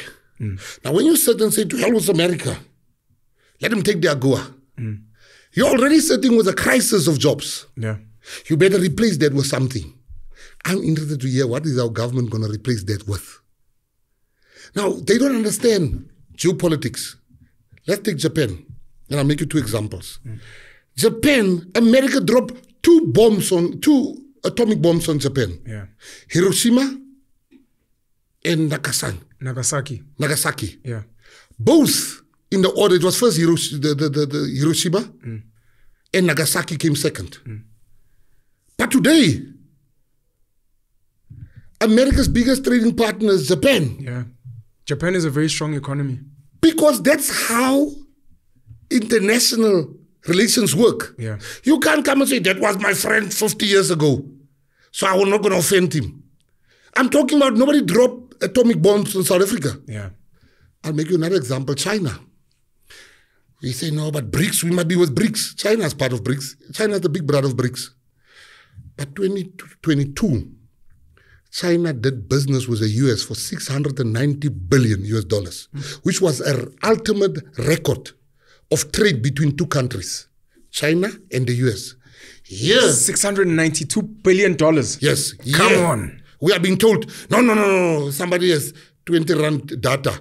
And he now say, no, no, no, no, no. America must go to hell. It's fine. If you say America must go to hell, but you better replace I went to a America. Facebook Lite. Yeah, Jeez. yeah. You must replace it with something. I'm saying to people, that's not how geopolitics work. Yeah. Geopolitics must work. Up. What is the interest of South Africa? Yeah. We must say as South Africans, is it in our interest to work with Russia? Is it in our interest to work with China or whatever? But my under my leadership, we will take a different approach to geopolitics. Politics. Mm. We will take the approach of going back to who Mandela wanted us to be. Mm. He- They wanted us to become the referee, the friend, where people, where disputes get settled. Mm. When people want people that can come and be fair, Sure. they would call on South Africa. We need to stop just talking to, saying we don't talk to this country. We must reset our national friends and say we are everybody's friend. Sure. And we must trade with Russia, we must trade with America without feeling guilty. Because at the moment, what you are seeing, Pen, it's a joke. One moment we say uh, we are not going to arrest Putin, we, we are not going to arrest Putin, mm-hmm. and I don't think we should arrest Putin. Mm-hmm. But next moment you hurriedly wanting to get a different next door country, can you host him for us? Mm. It's one and the same thing. Sure. It's it's within your powers. Uh, you've agreed to you're going to arrest him, but be a man about it. Say to America, we are not going to arrest him. Deal with it. Be, but don't come and talk with this side of your mouth. To hell with America, but this side of the mouth you say, go and save AGOA for us. Sure. Our thing is schizophrenic at the moment. Our international politics is schizophrenic. We don't need to choose a side. We must work with America. We must work with Russia. We must work with China. We must work with India. Because we don't have enemies. Sure. That's that's that's the president of the country, Cyril Ramaphosa's fault. I have to give kudos to Mama U Naledi Pandor. She's clear. She sounded very clear and sober about this stuff. Yes. Yeah. No, she's clear about The the, person, stuff. the person who's been sending delegates to America, who seems wishy-washy, unfortunately, is the president of the country. I'm just saying, here's my point I'm saying. I'm not even taking sides. I, I told you what my view is that NATO should not have expanded Yeah. uh, to the borders of, of Russia, which Yeah. is Ukraine. I also think that Russia should not have attacked because that's their little brother. They should have You can also see way. in the war how the Russia fights the war. Mm. Russia could have flattened that country, but that's not the intention. Mm. They're very strategic in how they fight the war. Yeah. And I think if they had to do it again, they would have done it differently. Mm. But I don't want people to come and say, to hell with America, Yeah. while and then go and back America to say, that's not how the world works. So I just want to say that South Africa needs to become the referee again. Thank you so much. Um, I'm worried about time. And about Debs, I was saying that we're going to go for like long. And I was like, we won't. Ah. this was one of the questions I wanted to ask you. It's a bit of a heavy one. Um, it was a follow up from the Eskom conversation. Because you spoke about if you were to head Eskom, you deal with the criminality there. And my question was going to be if you can deal with criminality at Eskom, uh, would you consider maybe going uh, for the position of Minister of Police? And if you were or to work with the Minister of Police, what would be your your way to deal with the drugs in Durban, uh, some of the violence in the taxi industry, the drugs and the gangs in Cape Town, some of the gang wars that are happening in Joburg? You mentioned Westbury, where a young 11, 12 year old girl was caught in the crossfire. Um, in some of the colored areas in, in, in the Western Cape. And then you also mentioned the political killings in KZN. What would be your solution to that? Whether you are Minister of Police or the President or you have some type of influence in resolving, because this, this country, outside of the economic mess and outside of foreigners interfering, just us with each other, it's it's become a, a war zone and we're, we're killing each other for, for fun and for free daily. I'm a very pragmatic guy. And I can tell you now, our problems cannot be sorted out with the current constitution. Because criminals got money. They get better lawyers than the state prosecutors. Hmm. And that guy will kill somebody. We see it in our communities. Next day, the guy's out. We don't have enough money for the witnesses. In Cape Town, nobody comes out as a state witness Yeah. because you're going to die You're going to die. because there's no witness protection programs that's proper. Hmm. The Nigerians are bragging that they own our police force. So foreigners are coming here causing havoc in our country, legal foreigners. Uh, uh, it, it's a mess. People do what they want. Somebody last week went to a soccer game and his team lost. He started killing the coach without hiding. Today, people on the N1 stop. They stop all the cars on the N1. They start robbing the cars. It's Armageddon. Yes, it's a war zone that we're in. Now you're not going to sort not a Gayton McKenzie, not anybody's going to sort out this problem with the current constitution. Hence, I say there's examples like El Salvador, and for those that don't know, allow me 30 seconds to tell about El Salvador. El Salvador had a guy that came in as president, Nayib Bukele. Nayib Bukele came in and he had 30 murders a day, a day. Nayib Bukele today has had one murder for 360 days. And that one murder, he sent the whole army, the whole police to descend on that municipality. And he caught the guy that did it with all his fellow gang members. We love democracy. We're in love with something that we don't understand. Yes, and it was given to us. We didn't ask for it. We don't understand this thing. We say we don't want the death penalty. No, we have the death penalty. Mm. Somebody can come in here and rob you guys with these cameras and kill you. yes, What is that? It's the death it's the penalty. death penalty. I'm saying that the state must have the right to kill. I believe first your problems. Now, people, you have people arguing with me. Uh, white ladies that has never don't know the difference, dagga or Mandrax. Tell me, no, Mr. McKenzie, that's not a deterrent. Uh, the death penalty. I'm like, have you ever stolen anything except sugar in your mother's kitchen? you come tell me, uh, it's not a deterrent. I was a gangster. I was a criminal. I'm saying to you, the death penalty is a deterrent. Nobody will tell me otherwise. I've been a gang boss. Not, I was been a boss of bosses. And I'm telling you, it's a deterrent. You start killing the bosses. Yeah. You're killing the small fish who will find other ways, legal ways to survive. Yeah. At the moment, we are just going for the small fishes. But it's like in the Thabo Bester case, you've not seen the big guys coming in. Yeah. Something like that don't get pulled off without the big guys. Mm. But back to the issue. Today in El Salvador, in Latin America, it was the most dangerous place and it's the safest place today in the world. El Salvador. Khomotso, what's your movie? Elite squad. Elite Squad. Elite squad. Do you remember the area? Uh, that was Brazil. That was the first Brazil. Brazil. Brazil, yeah. Yes. But I'm talking There's about a, El mo- there's, Salvador. there's a movie called Elite Squad. Now, I just need to mention it on camera. Khomotso's recommended it, where apparently military guys were sent in to go and deal with criminals in, in I don't know if it's in favelas. Yeah, yeah. Where but can we that, that type movie? of mindset. Any, uh, I've seen this documentary Steven from Desai. El Salvador, Nayib Bukele. Nayib Bukele. came, came in and he sorted out that problem. He built a prison for 60,000 people. And he took all the gangsters, he locked them up.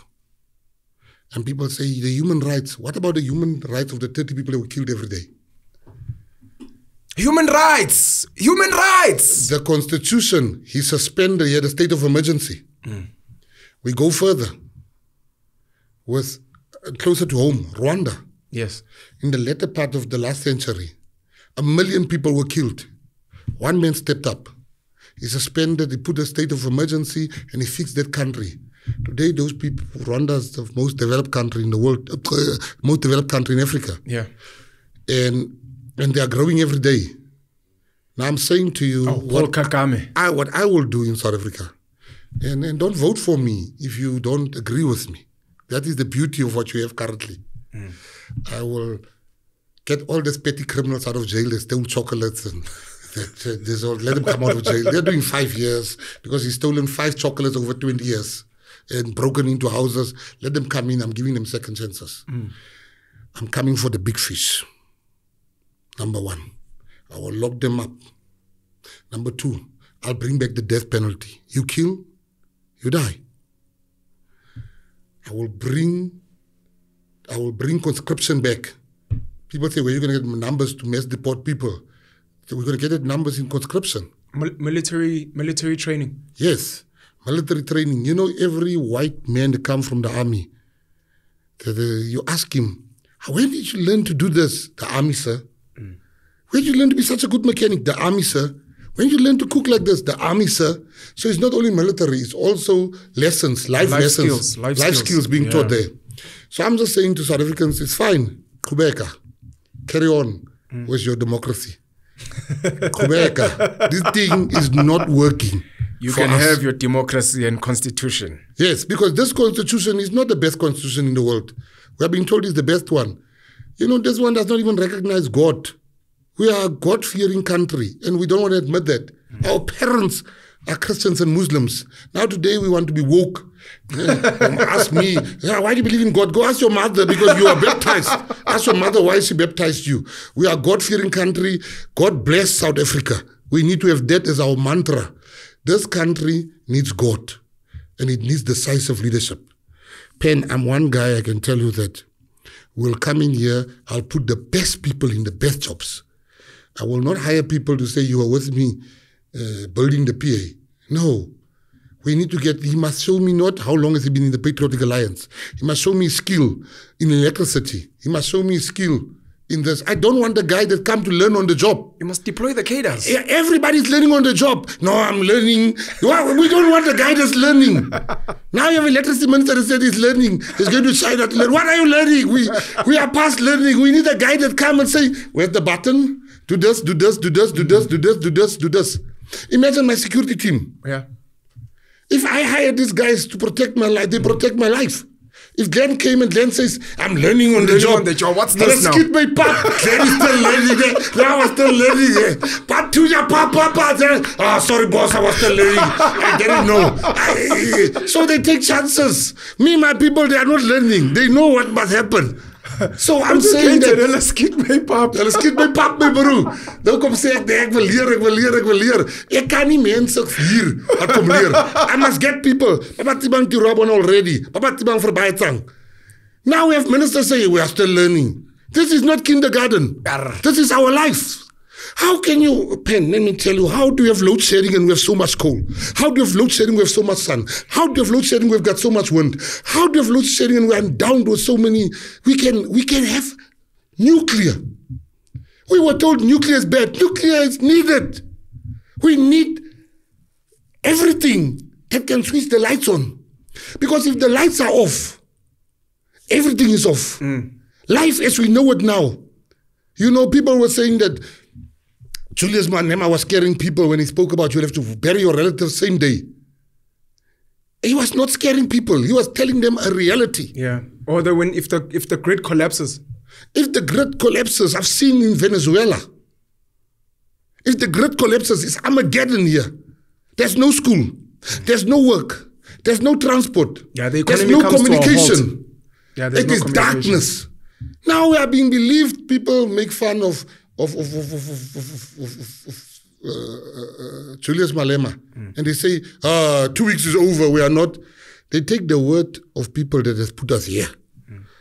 You know, load shedding has been with us for 16 years. Hmm. Yes. It's a sweet 16th birthday of load Yeah, shedding sweet this year. 16, you're right. Now, for 16 years, a man has not solved the problem. Then you want to listen to a man that has for 16 years been grappling with a problem. And they say Malema is lying, the grid will not collapse. I'm not saying he's telling the truth. But in a situation where I have to believe one of the two, I'd rather believe Malema than believe the guys that says, no, no, no, no, we promise you there will not be uh, grid collapse. Bruh, you've been promising us lights forever. Look what they did. They sorted themselves out. Yeah. You know where I saw we have no leadership in this country? During COVID. I saw we have no leadership in this country because during COVID, when other countries were resolutely seeking solutions, our leaders were digging graves. We need to revisit that story. Yeah. Your leadership that must keep you alive is preparing for your death. They've already accepted defeat. I am saying in this country, there are smart people, bro. and I'm not the only one. I'm not the, I'm not I'm not the only one that can be president in this country. Mm. But I'm saying the following: there are people smarter than what I can ever hope to be. But you see, for a time like this, when we deal with mafias, when we when we need guts, I'm your man. I will deal with them. You made other, you spoke earlier about people were toying those uh, 80 people that were toying there uh, out of 60,000 people. They were waited my last day to toy toy because they knew I'm not playing must go. I wanna I wanna skip some of these questions that I had for you here. This one I want to skip, but I have to I have to raise it because the way you you said it when we sat down was so beautiful. Um, I wanted to ask why the Patriotic Alliance is not a colored party. You've on, you've answered this many times before, uh, but I can imagine that there probably are still a few colored people who feel that you guys may have sold out because you realize there's a bigger South Africa. Maybe one of the arguments could be, look, we we we're working with people that are not colored, so it doesn't make sense. But I remember when we said, you said something like, we speak about a black Walter Sisulu, but there's a there was a, a Neville Alexander. We had Nelson Mandela in, in Robben Island, but the first prisoner was Harry de Stra- Strandloper. Uh, Steve Biko was killed by the police, but you had Ashley Kriel. Andrew Zondo was shot by the police, but you had Anton Fransch. We speak about the June 16 massacre, but there was the Athlone massacre. Um, to this day, and it's one of the things I still speak about in pain. I, I'm not even a colored person, I identify as colored, but uh, Patricia de Lille, maybe even people like yourself, there's still a lot of colored people that feel like they don't have leaders. And it almost feels like the PA, it came and then it quickly, just like the ANC moved from you're our people to know we're now non racialist and we're for everybody. No, that's true. I think there's some people that feel we started out as a colored nationalist party. Yeah. But you know, Ons Baizani. yeah, sense and time Yeah. showed us that you'll go nowhere if you just for one race. That's why apartheid ended. It's not a sustainable model. It's not sustainable. So if we want to be sustainable, we are doing no different what the ANC and the DA has done to our people. You know, colored people, and, and it's so easy just to say, yeah, colored people think they're white. It goes deeper than that. Yeah. Everybody forgets that. What you just mentioned, I can go on with that list. The first person was, when, when apartheid was Jim was hanging people, they hang Frank Rivers. Mm. Didn't say you are colored, we can't hang you. Yeah. The first MK soldier to die in battle is Basil February, was a colored male. Now, I'm mentioning this to you to say that we're an integral part of the struggle as colored people.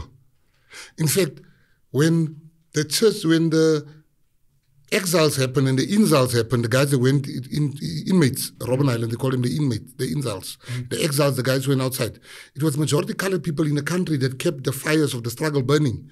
They they they they, they closed 500 schools after that. Now we cannot sit here and say we are only for colored people. That's racist. I was racist at the time when I said that. But I've grown up. And, and, and, and, and when you found God, you can't just say you are for one people. Mm. You must be for all God's people. There are colored people that say, no, we must only fight. You know, people say colored people think they're white. They forget that colored people voted for a black government in the Western Cape mm. in 1994. In 1994, the ANC ran the Western Cape. What is the br- most brilliant thing when I saw the apartheid regime at Foresight? They advised Nelson Mandela and the ANC. They said to them immediately after 1994, when they saw the result of Cape Town, mm. they said to them, No, but black people suffered. Colored people suffered, but black people suffered the most. Hmm.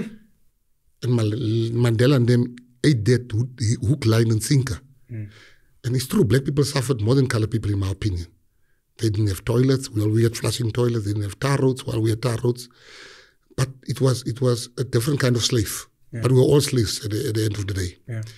And Mandela and them believed that, and then they came and saying black people, colored people cannot be African. Hmm. We can only be black, but we cannot be African. Now that is what the apartheid regime managed to get right Yeah. and put in their heads. Now in 20 years down the line, these people will move away from the blacks and come back to our fold. Hmm. And that's exactly what happened. And then Gayton McKenzie stepped in and says, no, no, no, there's another alternative. Hmm. You voted for the white man in 1948, and we got nothing to show for it. Yeah. We voted for the black man in 1994. Hmm. We've got nothing to show for it. It's time that we vote for ourselves. Sure. And we are the fastest growing party. And there's a by election tonight, and I don't know the result, but I know we're going to beat the DA, mm. which has the majority of black in Kokama. I don't know the result yet. Yeah. The election is happening today. But I know we're going to beat the DA because colored people, have, the dead has arisen politically. Mm. Well, what we are trying to do is to say, let's have one nation. It's very difficult for me. My mother is black mm. to oppress black people. So colored people have a mixture of everybody. When we're a bit crazy sometimes, it's the racists fighting inside. I tell you, David Cow, no, sometimes we're crazy, it's the racists. There's a struggle inside. There's a struggle inside because that's who we are. Some, colored people love burning food, hot chili. Sure. It's the Indian part that, Sure. that, that is. But we are the best placed people to bring South Africa together. Mm. If we don't bring South Africa together, Pen, we have no country. Yeah. If you go only for white people, you're wasting your time. If you're only for black people, you're wasting your time. You know, if you look at, I can tell you horror stories that's been done to colored communities. But when we mention this, they say, ah, you see, there it goes again, colored, colored, colored. All we wanted to do, and I think we've succeeded, wanted to bring the colored agenda on the table. That's all we wanted to do. When we sat down, you said the ANC will go under 40% in Yes. 2024. And you even gave a specific number. You said 37%. This was last year in August, August 2022. Do you still feel the same?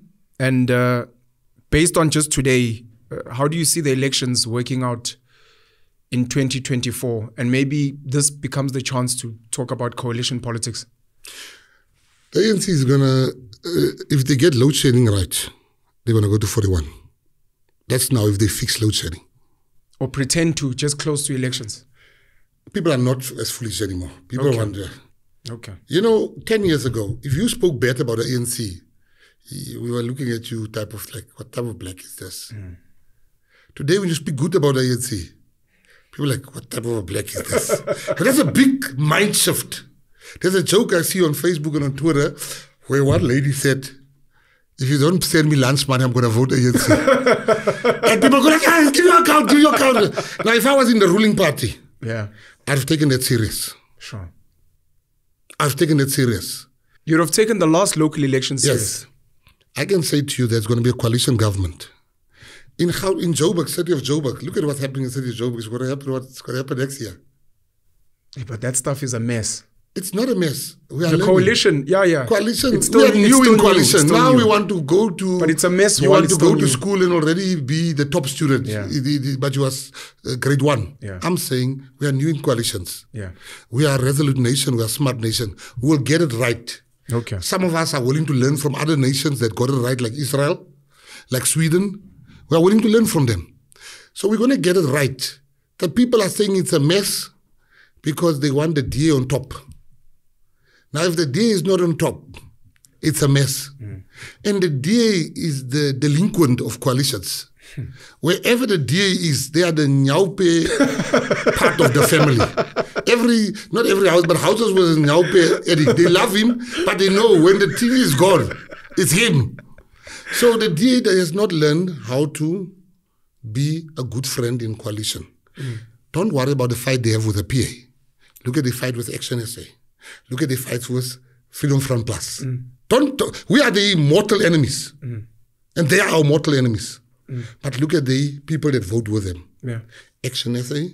Now people say PA is keeping the Al Jama-ah boys as mayor. Action SA voted with the DA in Tshwane. When the time came when we had to vote for Funzi, the DA refused to vote for Funzi. That So was the- Action SA in Joburg. Yes. Yeah. This is I'm talking about a month, two months ago. Action SA leader for Joburg. Um, yeah, yeah. They voted for Funzi. Yeah. For, for, for the DA mayor, Cilliers Brink. Action SA voted for that mayor. When the time came two months after that for the DA to vote for Funzi, they refused. So what you see in city of Joburg, fools, they blame me. It's very easy to always blame the black guy in the room or the darker skinned guy in the room. Why didn't the DA not vote for Funzi? Because the DA wants power at all cost. And if they are not the captain of the ship, they sink their ship like they've seen the city of Joburg. We hear how the DA knows how to govern. We have the 10 billion that the Auditor General, not McKenzie, is saying in Tshwane. Where the 10 billion is missing according to the Auditor General. They have been there until two, from 2006 to 2016 to now. Where's the 10 billion? That's not me saying that. You can read up on that stuff. Mm. All I'm saying to you is that coalitions is very difficult Yeah. and we are all learning. And I think we are not doing as bad for newcomers to this coalition thing. Mm. And we're going to get it right next year. It will be better come 2024 because we have learned and we are still going to learn. And the ones that don't learn, they'll continue to make the same mistakes. I want to give a special shout out to Eugene Poeta. Uh, very intelligent, very charming, very open minded gentleman. Uh, I'm very honored to have met him. Um, I think, in the interest of time, I'm hoping that you will come and visit us again soon. Uh, I'm trying to shut this down before your favorite load shedding comes and kicks us out. But uh, Mr. Gayton McKenzie, I want to thank you so much for coming through to visit. And I, I really, really hope we can sit down again soon, speak politics, speak your vision for this country, and finding solutions and igniting the fire in ordinary South Africans that have kind of lost hope.